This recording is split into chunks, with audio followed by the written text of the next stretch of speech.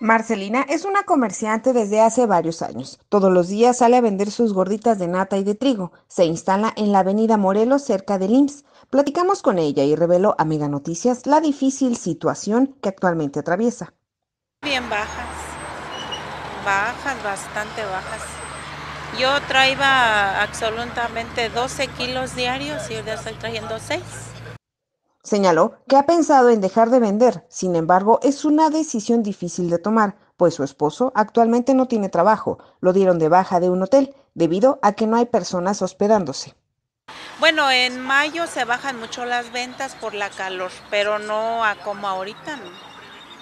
En mayo vengo trayendo 10 kilos, se bajan 2 kilos.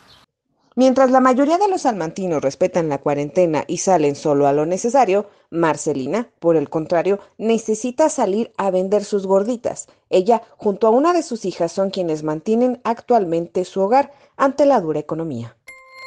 Nomás mis clientes que pues ya tengo son los que vienen ellos, vienen y pues ya saben que aquí estoy.